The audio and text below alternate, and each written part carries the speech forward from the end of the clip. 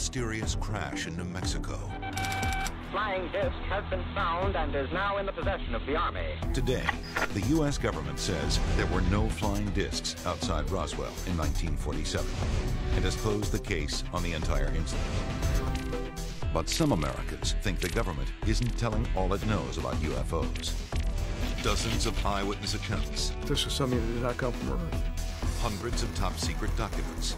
On several of the pages, you can read eight words. The rest is blacked out. The potentially damning evidence, not just of an alien crash, but possibly of a six-decade government cover-up. Here it was in black and white, as I remember it almost sent chills down my spine.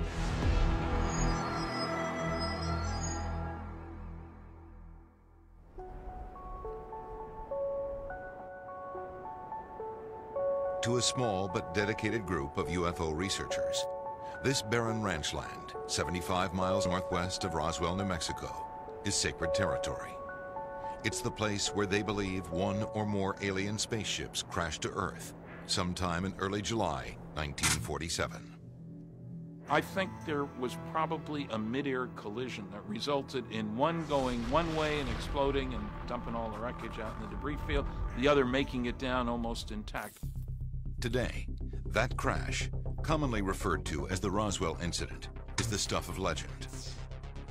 But we might never have heard of Roswell if not for a former nuclear physicist turned UFO researcher named Stan Friedman. After spending nearly 30 years investigating the incident, hunting down dozens of key witnesses and scores of top secret documents, Friedman is convinced that the U.S. government is covering up a UFO crash. This is his proof. It begins in 1978, when after giving a lecture on UFOs, someone casually asks if he's ever met former military intelligence officer Jesse Marcel. Brilliant investigator that I am, I said, Who's he? I never heard of him. Oh, well, he handled pieces of the wreckage in one of those saucers you're interested in. What?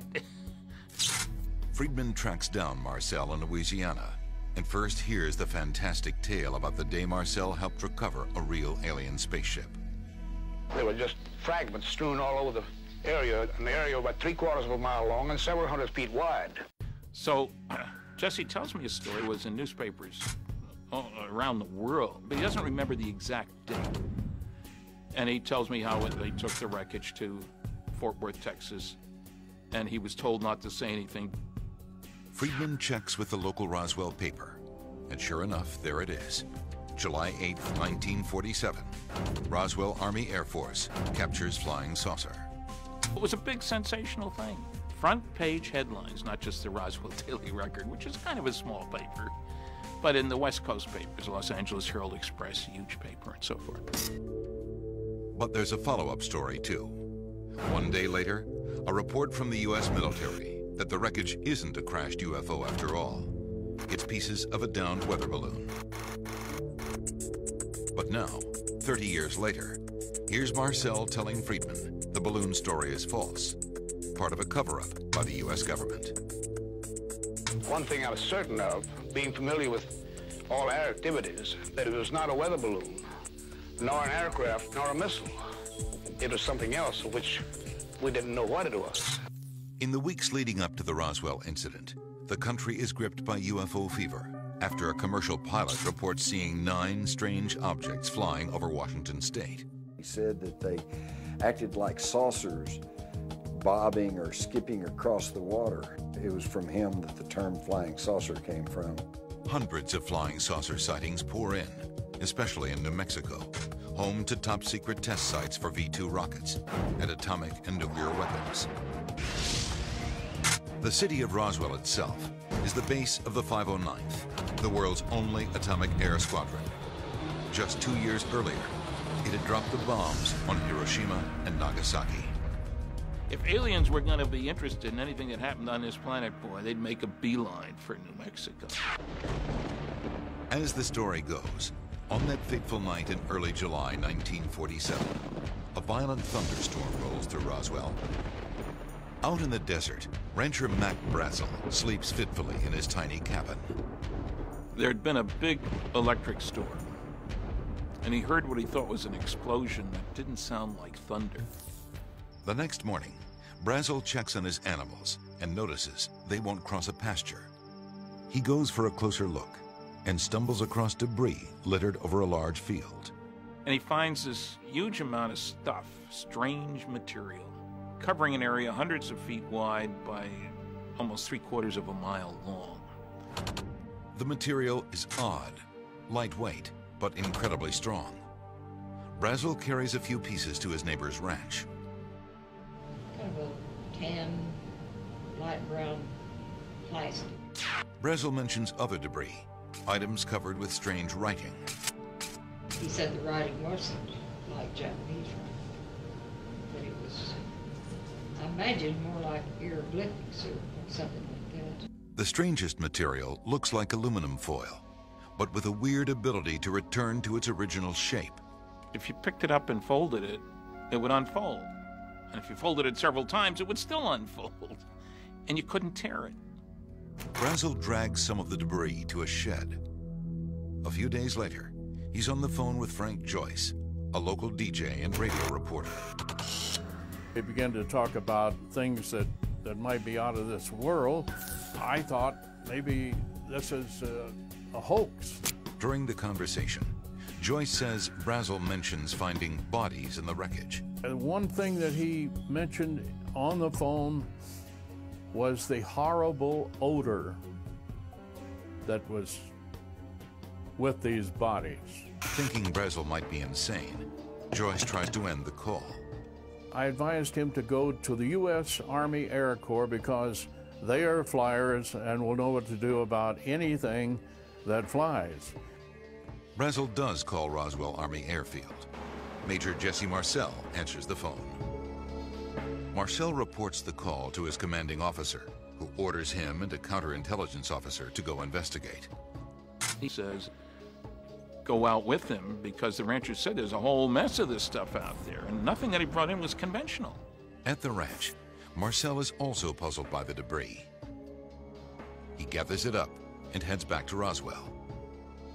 He's so excited by the potential discovery, he stops by his home after midnight and wakes his wife and 11 year old son, Jesse Jr. He said something like, uh, This is parts of what we feel is a flying saucer. Jesse Marcel Jr. is a doctor and colonel in the U.S. Army Reserves. He just got back from Iraq. He's writing a manuscript called Roswell It Really Happened. Even though it happened many years ago, he still vividly remembers what his father showed him that night. I picked up the material and it was, I noticed it had a very strange quality to it. It was very light. I didn't try to bend it or tear it, uh, but I just kind of looked at it and just kind of wondered what this was. Marcel's father continues on to the base to report his findings to his superiors. The next morning, the base commander orders the public information officer to write a press release about the incident. He gave me exactly what he wanted in the press release that we had in our possession a flying disc. The story hits the airwaves, creating an instant sensation. Headline edition, July 8, 1947. The Army Air Forces has announced that a flying disc has been found and is now in the possession of the Army. But almost as quickly begins what appears to be a government cover up. From the time that story came out, I felt that someone somewhere was trying to stop every last word of this story.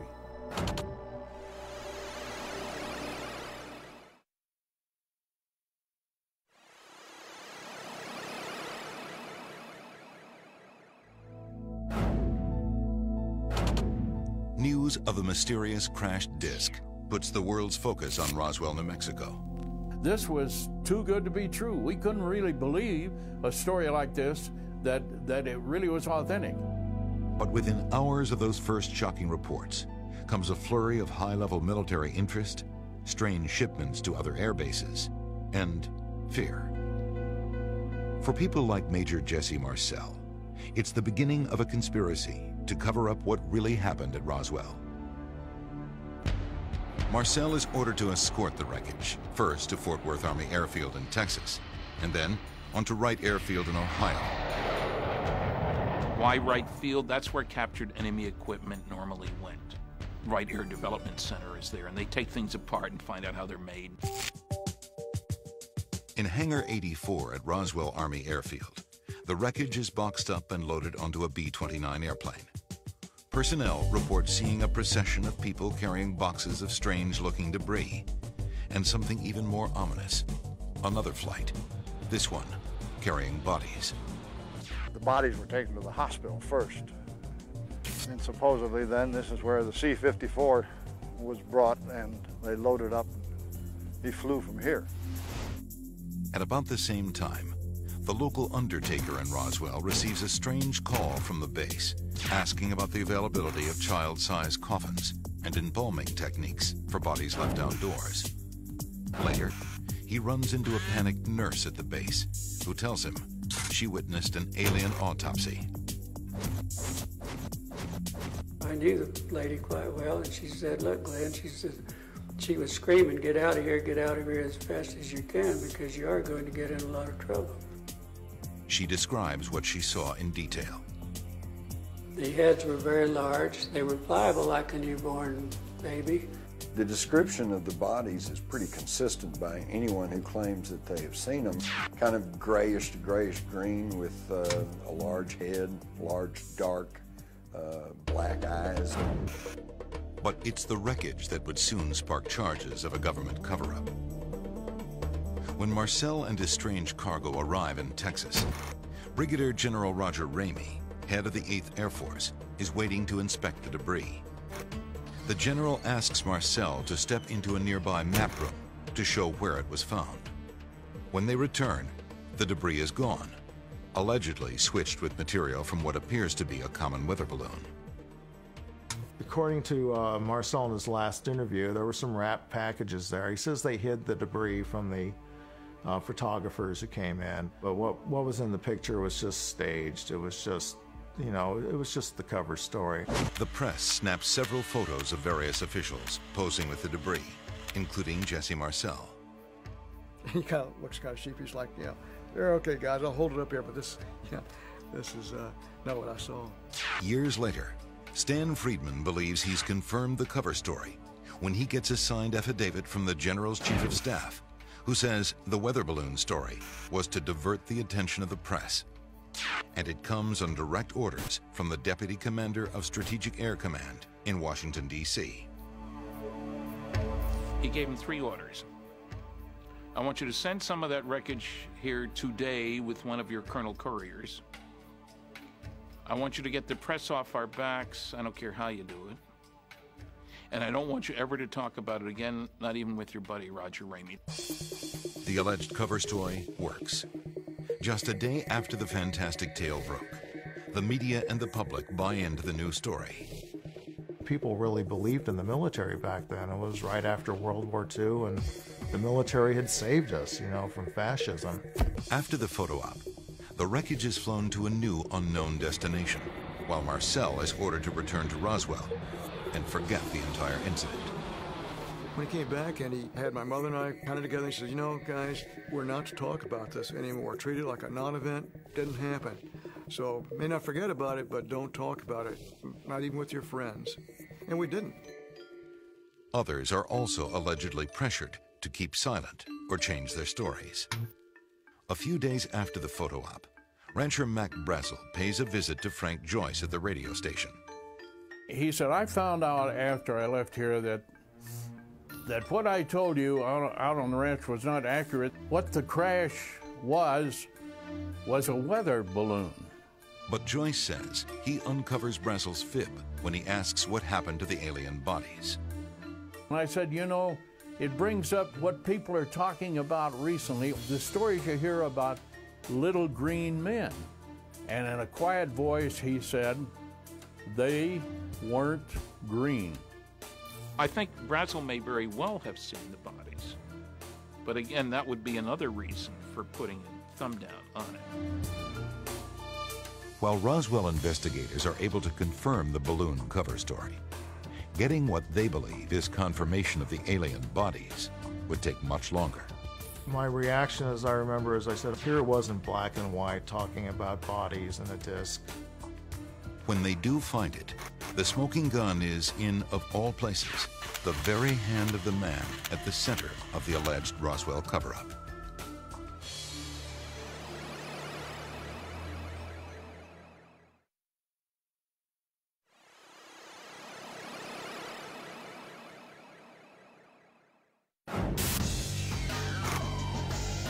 After the debris from a crashed UFO is identified as a simple weather balloon, interest in the Roswell incident dies down and is soon forgotten altogether. But the principals in this drama, like Major Jesse Marcel, never forget. It was not a weather balloon, nor an aircraft, nor a missile. It was something else which we didn't know what it was. Marcel's son remembers his father as adamant the truth was being hidden. I remember him saying later that uh, he was part of the cover up because he went along with the story publicly, but privately, he didn't. According to researcher Stan Friedman, the U.S. military doesn't forget the incident either. Instead, Roswell becomes the launchpad for what he calls a cosmic Watergate, an ongoing government conspiracy to hide the truth about extraterrestrial UFOs.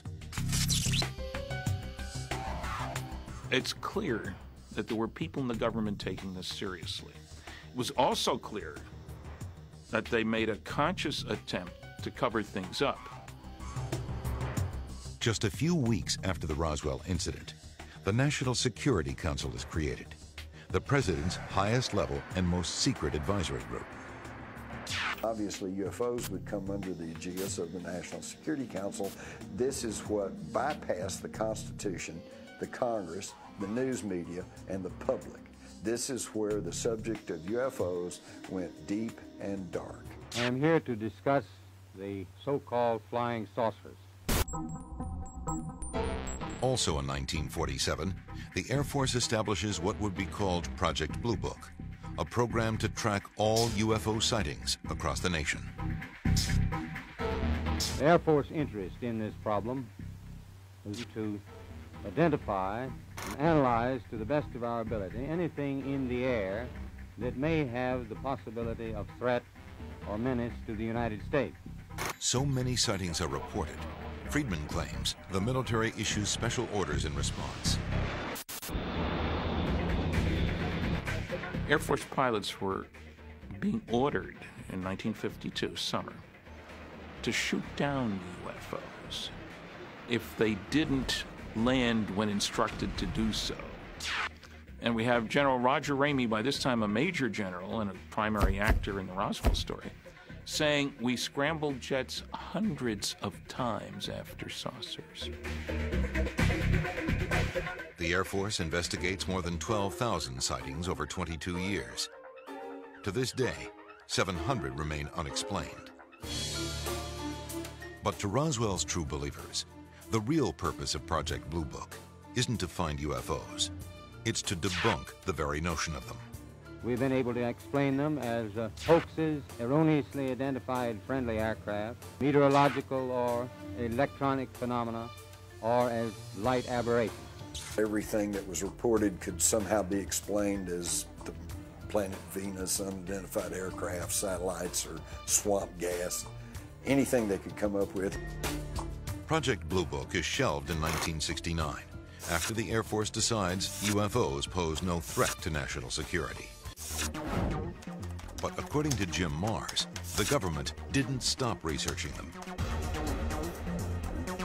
There have been literally dozens of uh, documents pried out of the CIA, out of the military, and, and, and others that show that behind the scenes there is an intense interest in what these things are, where they come from, and what they're up to.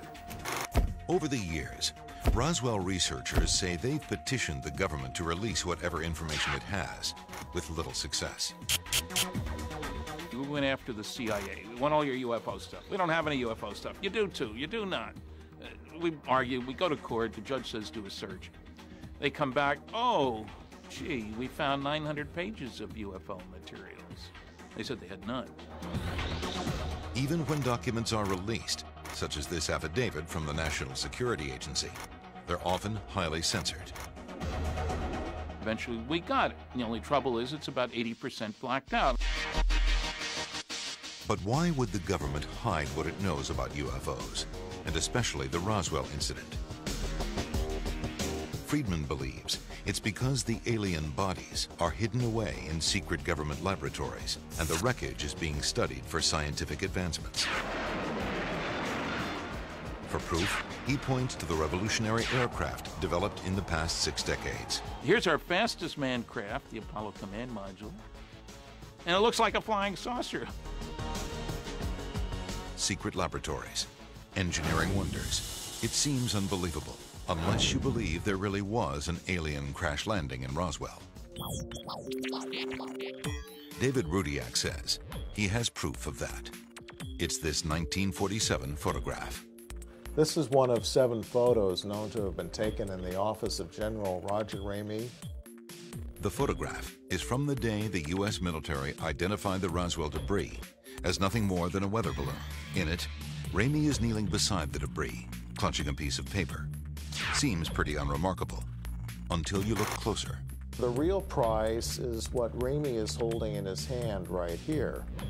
And you can see as you zoom in that there's writing on this paper. Using a digital photo scanner to enlarge and enhance the document, Rudiak says he can make out the words that prove there was an alien spacecraft. This was a brand new use of the word disk. The uh, flying saucers or flying disks, and uh, the terminology had been around for less than two weeks, and so the newspapers, for example, often enclose the word disk in quotes. Then, in the same paragraph, a shocker. The real key to this message is this word right here, which uh, the initial group identified as being the word victims. Rudiak deciphers more of the paragraph. They had the victims, they were going to ship them, I believe, to the chief medical officer at Fort Worth. And when it's all strung together, Rudiak believes the document is nothing short of a bombshell. They'd found a disc, they'd found victims, they were shipping the victims out, and then they were going to cover it up. So is it all really true? The debris, the victims, the cover-up. Is this the long-awaited proof that an alien spacecraft did crash outside Roswell? The U.S. government has looked at the same evidence and come to a much different conclusion.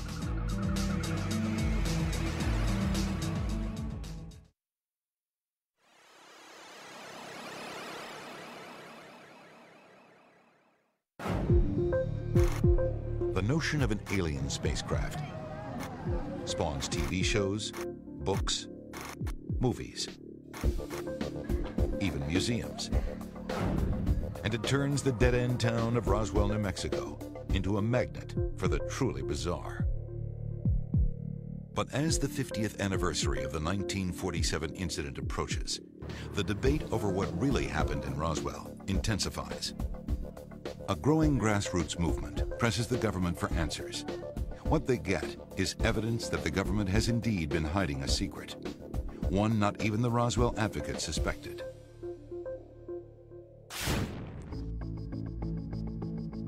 In 1993, Kent Jeffrey decides to join the Legion of Amateur Sleuths, hoping to find the truth about Roswell. Before I knew it, I was in it up to my neck.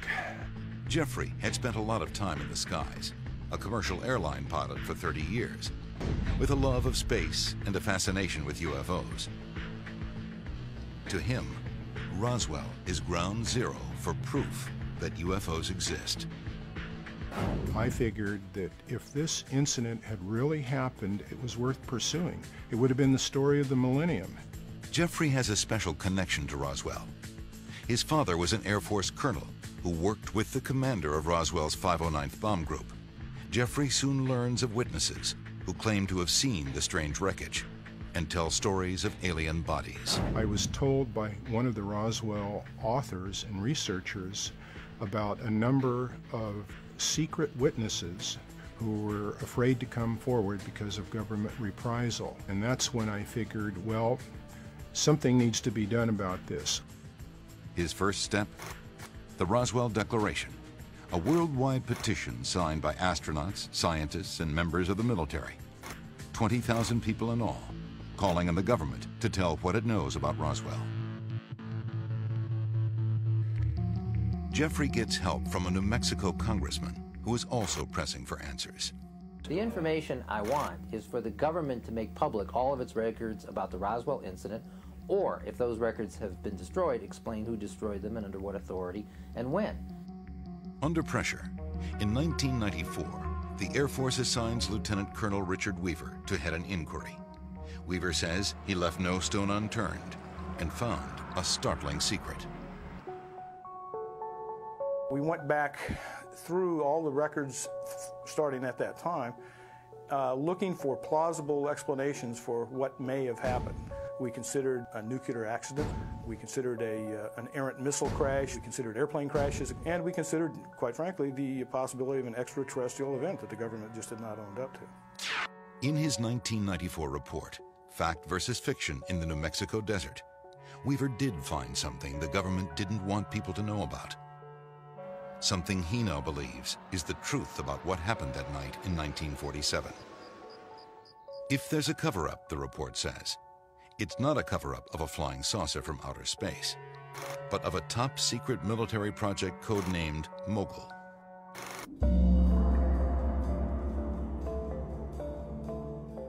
Mogul is a huge apparatus of balloons and instruments spanning some 600 feet. It's designed to detect Soviet nuclear tests, one of the most pressing issues in those early days of the Cold War. The project is so secret, many of those who work on it don't even know its name. It was about as, as uh, highly classified as the Manhattan Project itself. In 1947, Charles Moore is Project Mogul's engineer. A retired university professor today, Moore believes those reports of flying saucers and the strange otherworldly wreckage on Brazel's ranch are really describing his balloon number four. It was launched in early June, some 50 miles downwind.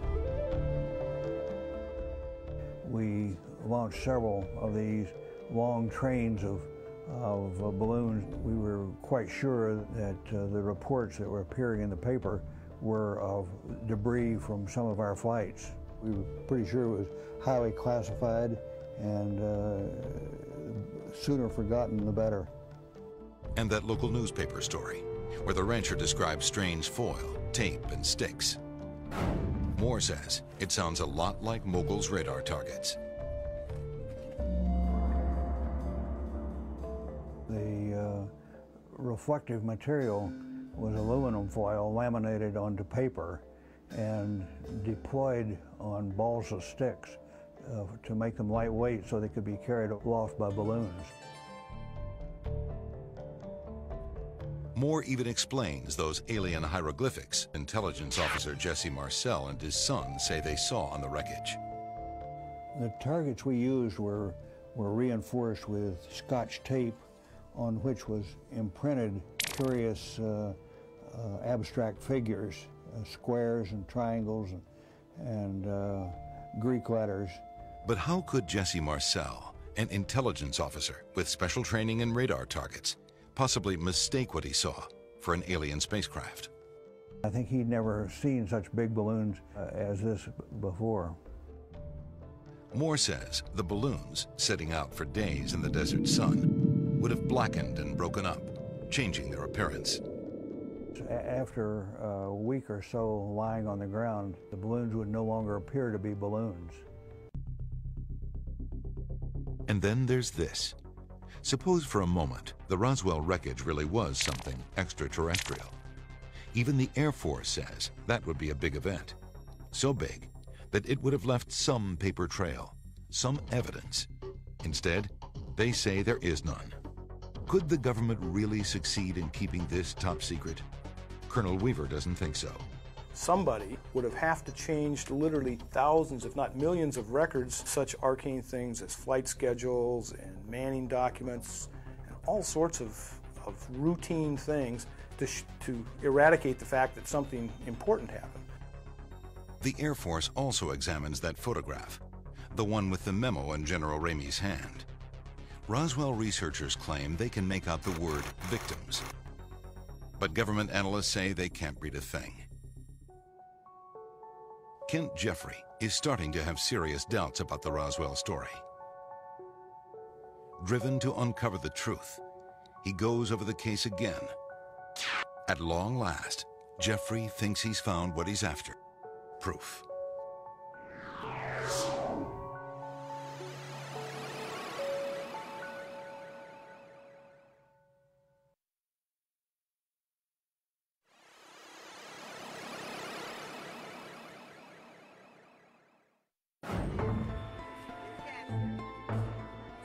Going into this, for me, it was a quest for the truth. By 1996, Kent Jeffrey has spent three years investigating the Roswell incident without finding definitive proof for or against it. Like so many researchers before him, he's stymied by contradictory evidence, some pointing to a government cover-up, some debunking it.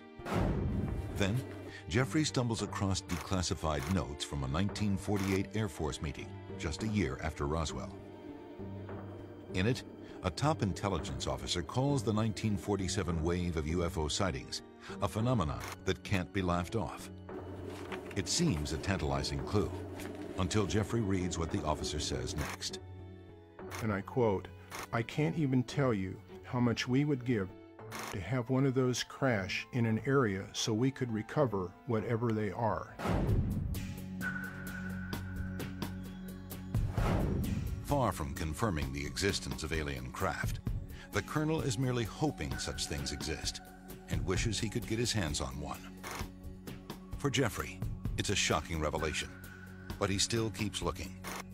He tracks down other people who may have known about it, members of the 509th Bomb Group based in Roswell in 1947. I eventually spoke with 15 former B 29 pilots and two former B 29 navigators, all of whom felt the entire UFO matter was patently ridiculous. Next, Jeffrey finds top officers at the airbase that received the crash debris after it was shipped out of Roswell. They tell Jeffrey there was no crashed spaceship. It simply never happened. They give Jeffrey a signed affidavit. There was no alien spaceship and no secret hangar housing it. Of that we give our word. Even testimony from the local undertaker. See here, you got the large eyes and the big heads. About an Air Force nurse who witnessed an alien autopsy falls apart. There are no records that such a nurse ever existed. After more than three years of dead ends, Jeffrey pays a visit to Professor Charles Moore, Project Mogul's engineer. There it is, in plain sight the radar reflector. The same thing Jeffrey believes is shown in those 1947 photographs. It was a no brainer. That's exactly what it is. Other Roswell researchers claim the debris in the pictures was substituted for the real wreckage. But the intelligence officer who accompanied Jesse Marcel Sr. in July 1947 says in an affidavit it was not substituted. The wreckage in the picture is exactly what he saw. Trying to sort out whether the wreckage was in fact switched, Jeffrey returns to the people who witnessed it. Jesse Marcel Sr. had passed away, but his son, who was only 11 at the time, remembers strange exotic debris. It's very light. I didn't try to bend it or tear it, uh, but I just kind of looked at it and just kind of wondered what this was. Jeffrey wonders if there's anything more. Hoping to find his answer, he turns to hypnosis. Just gonna do one other thing. I'll touch your wrist for a moment. And, uh, he wants to use the technique on Colonel Jesse Marcel Jr., who saw the debris his father brought home from the crash site. Maybe Marcel will be able to remember some more details of what his father showed him that night in July 1947. Marcel agrees. Let yourself be there now. Jesse Marcel Jr. is probably the most important living witness to the debris. I uh, held it up like that so I could see it better with the light. I remember uh, holding light was up here. If the hypnosis could have brought out some previously suppressed information in his mind regarding exotic material, then there would have been uh, a reason to be optimistic that maybe there was something to all of this. The hypnosis is a bust. Marcel does not come up with any new information. I wish I could just drag it out. Jesse simply remembered what he had already remembered consciously a few pieces of uh, foil like material, some plastic or bakelite material, and a short beam with some unusual markings on it. That only reinforces Jeffrey's theory that what Jesse Marcel Jr. saw on his kitchen floor in 1947 were the remains of a radar reflector from Project Mogul. That was the final nail in the coffin of the crash saucer scenario for me. Kent Jeffrey may be convinced that the Roswell incident was nothing more than a crashed Air Force experimental balloon. But other Roswell researchers aren't so sure. Project Mogul, they say, is the cover for the alien crash. The so-called secret project was not nearly as classified as the Air Force would have you believe. They actually had some launches where they just let them float down in the desert. Doesn't sound very classified to me. You don't let highly classified things just float down in the desert where your enemies, spies, can look at them.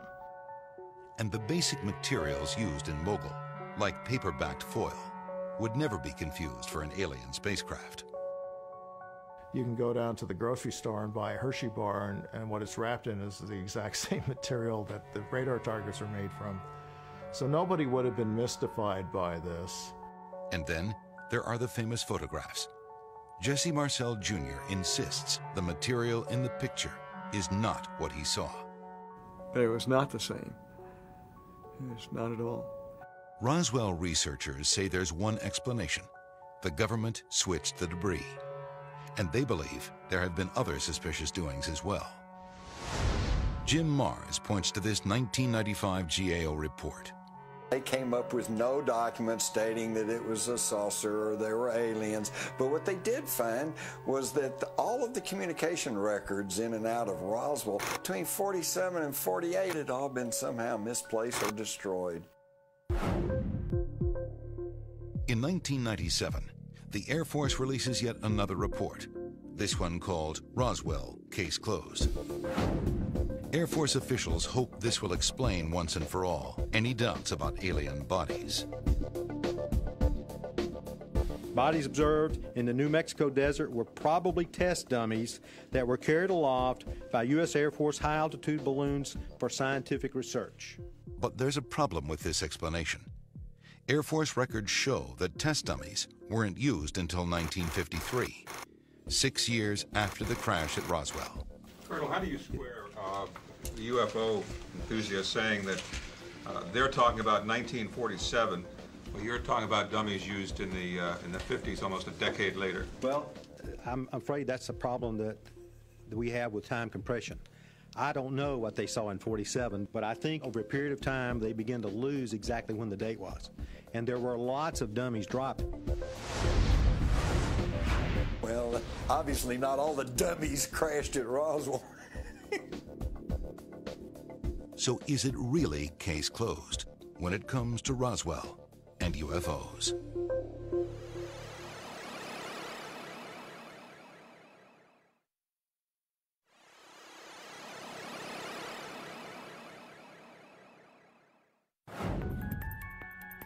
Thank you, sir. After delivering its 1997 press conference, the U.S. government officially closes the case on the Roswell incident. But the final word doesn't seem to satisfy people on either side of the debate. Hey, a right. Contradictory government documents, conflicting eyewitness reports, and intriguing clues that the government is still holding back key evidence all fuel the continued controversy. There will always be those who will not believe anything the government says, and I think that's terrible. But you have to ask yourself, whose fault is it? From a public relations standpoint, I think the government has handled it very poorly. But even poorly handled, Kent Jeffrey believes the government has given the best explanation so far about what fell to Earth outside Roswell. I have absolutely no doubt that it was not an alien spaceship. I would stake my life on that, literally, without hesitation. And it was really a big disappointment for me. Adding to the skepticism of Jeffrey and many others is the fact that so many big leads over the years have not panned out. From discredited witnesses to smoking gun documents that turned out to be fake, even the ever-growing number of alien landing sites in New Mexico. At last count, there are six in all, including this one that charges admission. Yet through it all, the true believers still believe. Uh, well, the Army came in and covered it up. They remain as convinced as ever that Roswell is the government's dirty big secret. Buried under decades of deceit, lies, and cover-ups. For Jim Marrs, the proof is from all those people who've come forward to say they witnessed the incident firsthand. The thing that convinces me that something unearthly happened in Roswell is simply the sum total of the evidence. For Stan Friedman, the proof is right there too. Up there, in the sky. What I marvel at is that there are stars so many billions of years older than the sun. What arrogance to think we're the big shots in the neighborhood. I think most people don't think we are.